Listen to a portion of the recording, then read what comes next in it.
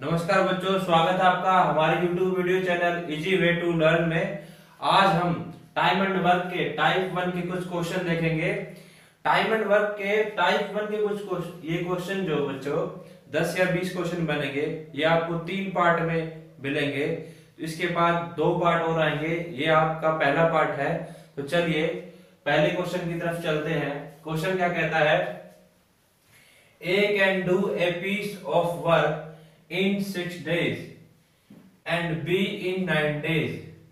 A किसी काम को छह दिन में कर सकता है। B उसी काम को नौ दिन में कर सकता है।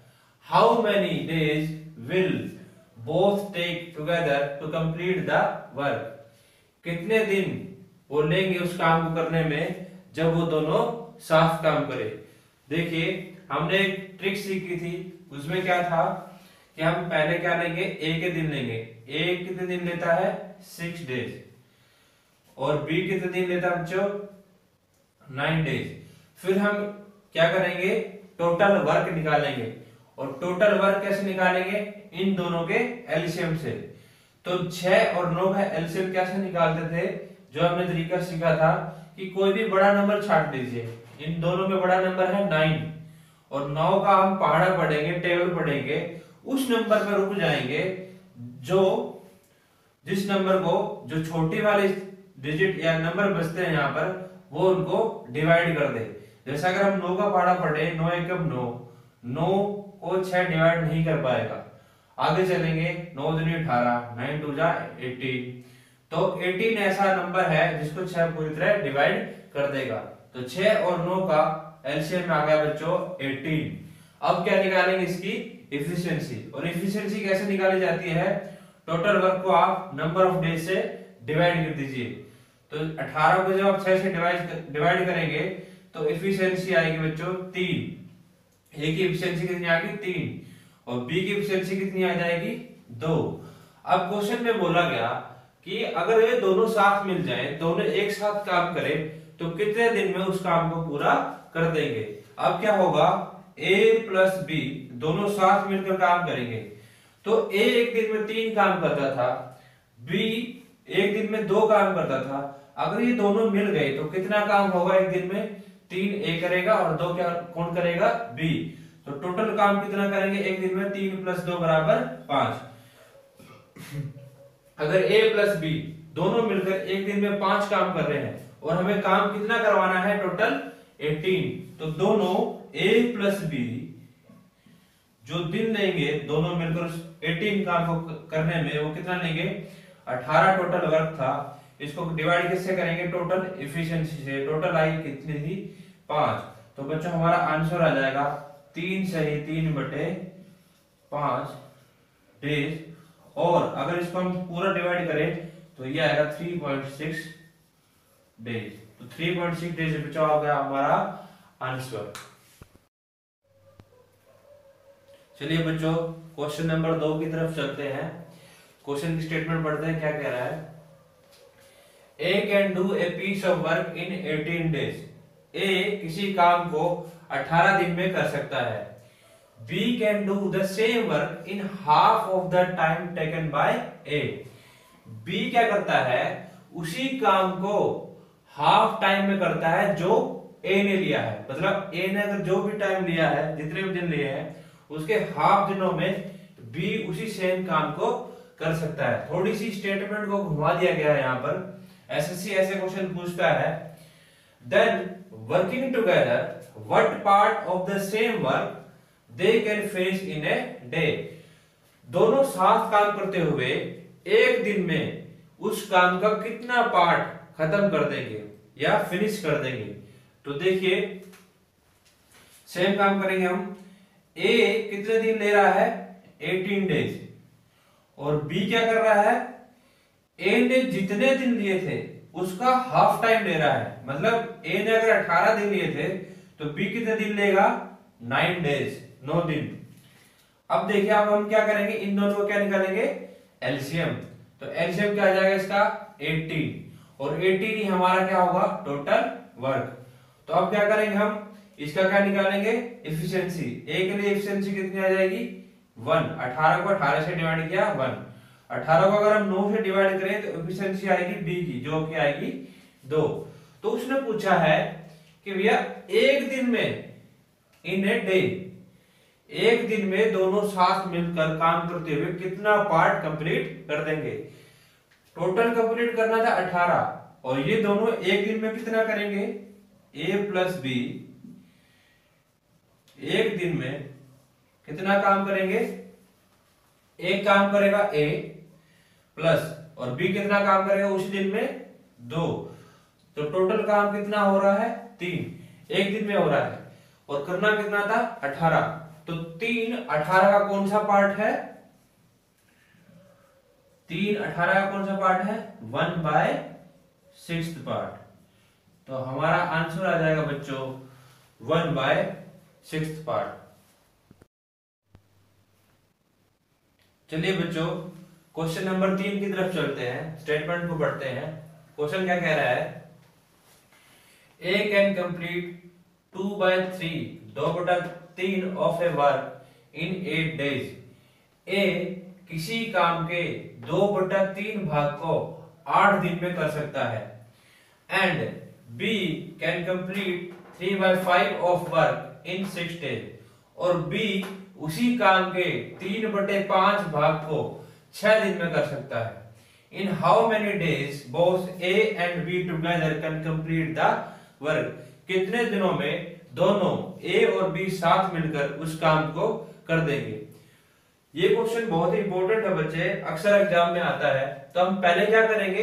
ए के दिन निकालेंगे, जितने दिनों में पूरा काम कर देता था। अभी हमें दो बटा तीन का दिया हुआ है। ऐसे ही बी का वो टोटल दिन निकालेंगे, जितने दिन में वो अकेला काम कर देता था। तो देखिए हम करेंगे क्या? ए, दो बटे तीन वर्ग को करता है। कितने दिन में? आठ दिन में। जो नीचे वाला होता है, वो हमेशा ओरिजिनल चीज़ होती है जो में पूरा होता है। ओरिजिनल या टोटल बोल सकते हैं इसको। ठीक है? टोटल वर्क बोल दो। समझ गए? अब ए क्या कर रहा है? अगर टोटल वर्क तीन है तो ए तीन का दो भाग आठ दिन में कंप्लीट कर रहा है। तो दो की वैल्यू कितनी दे रखी है? आठ। मतलब दो का कितना गुना ये? चार गुना तो तीन का चार गुना क्या आ गया बच्चे? बारह। तो इसका मतलब ए उसी काम को करने के कितने दिन लेगा? बारह दिन लेगा अकेला।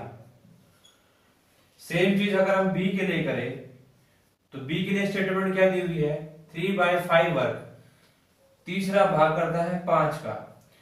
पाँच टोटल वर्क करना है। लेकिन पाँच के तीन भाग वो बी कितने दिन में कर रहा है? छह दिन में। छह दिन में। तो तीन का कितना गुना पर बैठा है? दुगने पर।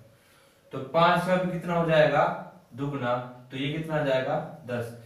इसका मतलब जो बी है, वो कितने लेता है? दस दिन लेता है। इसको हम दूसरे तरीके से भी ऐसे भी कर सकते थे। डायरेक्ट। वो कैसे? कि एक अगर हमें निकालना हो दिन तो हम क्या करेंगे? एट जो दे रखा था इसको मल्टीप्लाई कर देंगे इसके उल्टे से। कैसे? तीन बटे दो से। तो दो चौके आठ, चार बारह। सीधा आ जाएगा इसका, बारह दिन लेगा बी का कैसे करेंगे? बी के कितने दे रखे थे? छह दिन। और हम क्या करेंगे? इसका उल्टा। पाँच बटे तीन से इसको गुना कर देंगे। तीन दूनी छह। तो ये बच्चों ऑटोमेटिकली आ जाएगा दस दिन। सेम चीज़ आएगी। आप इसको ऐसे भी कर सकते हो। ऐसे भी कर सकते हो जो आप मेथड अच्छा लगे। आगे देखिए, अब क्या करेंगे हम? दोनों का टोटल दोनों मिलकर कितने दिनों में करेंगे? उसके लिए क्या करेंगे हम? इन दोनों का क्या निकालेंगे बच्चे? एलसीएम और एलसीएम कैसे निकालेंगे? 12 और 10 का। बड़ा नंबर लेंगे, उसका बारह पढ़ेंगे, बारह दो चौबीस, बारह तीन छत्तीस, बारह अड़तालीस बारह पैंतीस, साठ। तो साठ ऐसा नंबर है जो दस से पूरा पूरा डिवाइड हो जाएगा। अब इन दोनों की क्या निकालेंगे हम? इफिशियंसी तो साठ को जब हम बारह से भाग करें तो ये आएगा पाँच। और साठ को अगर हम दस से भाग करें तो ये आएगा छह। ए की इफिशियंसी आ गई पाँच बी की इफिशियंसी आ गई छह। अब दोनों मिलकर कितना काम करेंगे? एक दिन में ए प्लस बी दोनों मिल जाए। ए करेगा पाँच बी करेगा छह। टोटल एक दिन में कितना काम होगा? ग्यारह। अब बात करते हैं दोनों मिलकर इस साठ काम को कितने दिन में करेंगे? जो हमें पूछा गया है क्वेश्चन में कि how in how many days both A and B together can complete the work total काम करना था साठ। एक दिन में करते हैं ग्यारह। तो कितने दिन लगे होंगे? ये बनेगा ग्यारह बजे पचपन। पाँच से ही पाँच बटे ग्यारह डेज़ तो बच्चों, ये आ गया हमारा आंसर चलिए बच्चों, आगे चलते हैं क्वेश्चन नंबर फोर्थ की तरफ़। स्टेटमेंट को पढ़ते हैं। क्या कह रहा है statement A and B together can complete a piece of work in eight days अब केस दूसरा आया स्टेटमेंट को थोड़ा सा चेंज किया। अक्सर एग्ज़ाम में ऐसे घुमाया जाता है एसएससी के द्वारा। तो देखिए ए और बी टुगेदर टुगेदर दोनों साथ काम कर रहे हैं और कितने दिन ले रहे हैं? आठ दिन। While A alone can complete the work in 10 days. जबकि ए अकेला उसी काम को 10 दिन में कर सकता है। तो in how many days can B can complete the work? कितने दिनों में B अकेला उस काम को कर देगा? अब की बार क्या हुआ? A प्लस बी दोनों साथ काम कर रहे हैं और ए के अकेले के दिन दे रखे हैं। बी के अकेले के नहीं है। तो अगर बी के दिन निकालने हैं तो हमें बी की क्या चाहिए होगी? एफिशिएंसी वो कैसे निकालेंगे? देखिए। हमें स्टेटमेंट में दिया गया कि ए प्लस बी दोनों कितने दिनों में काम कर रहे हैं? आठ दिन में। और A अकेला उसी काम को कितने दिन में करता है? दस दिन में। तो अब बच्चों, हम क्या निकालेंगे इसकी? एफिशिएंसी निकालनी है किसकी? बी की। उसके लिए हम क्या करेंगे? पहले हमें टोटल वर्क निकालना होगा। टोटल वर्क कैसे आएगा? इन दोनों का एलसीएम और एलसीएम कैसे निकालते हैं? बड़े वाले नंबर का पाड़ा पढ़ेंगे टेबल पढ़ेंगे। दस एकम दस दस दूनी बीस, दस तीस, दस के चालीस। तो चालीस एक ऐसा नंबर आ गया जो आठ से पूरा पूरा डिवाइड हो जाएगा। तो अगर हम इफिशियंसी निकालें तो कैसे निकालेंगे? टोटल वर्क को टोटल वर्क को नंबर ऑफ़ डेज़ से क्या करेंगे? डिवाइड तो 40 को जब 8 से डिवाइड किया, इसकी वैल्यू कितनी आ गई? पाँच। और जब 40 को 10 से डिवाइड करोगे तो इसकी वैल्यू आएगी चार। इसका मतलब जो a प्लस बी की इफिशियंसी थी, a प्लस बी की इफिशियंसी थी वो आ गई पाँच, और a की इफिशियंसी कितनी आई? यहाँ पर चार। इसका मतलब अगर हम b की इफिशियंसी निकालें, इसमें से इसको घटा दे तो ये माइनस हो जाएगा नीचे वाला। A से कैंसिल हो जाएगा। तो b की इफिशियंसी क्या आ जाएगी? वन इसका मतलब B जो एक दिन में क्या काम करता था? एक ही काम करता था। तो अभी क्वेश्चन में क्या पूछा गया? In how many days can B can B alone can complete the work B अकेला उसी काम को कितने दिन में कर सकता है? तो बी कितने दिन लेगा? उसके लिए क्या करेंगे?